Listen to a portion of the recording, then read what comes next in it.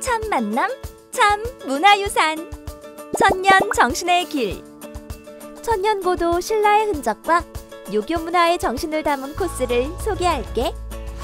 경주에는 불국사, 석굴암, 계림, 월성, 대릉원이란 곳이 있고 안동에는 안동 하회마을, 도산서원, 봉정사가 있대.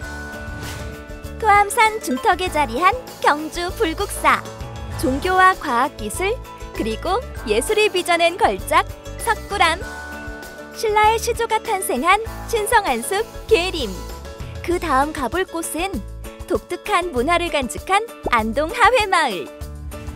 그리고 도산서원을 거쳐 만나는 안동 봉정사. 대한민국의 정신이 깃든 천년 정신의 길. 꼭꼭꼭 방문해봐.